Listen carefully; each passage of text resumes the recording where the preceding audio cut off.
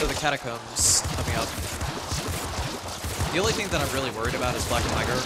Uh, the Lisa Trevor appearances can actually be manipulated, so you don't ever have to get hit by Lisa.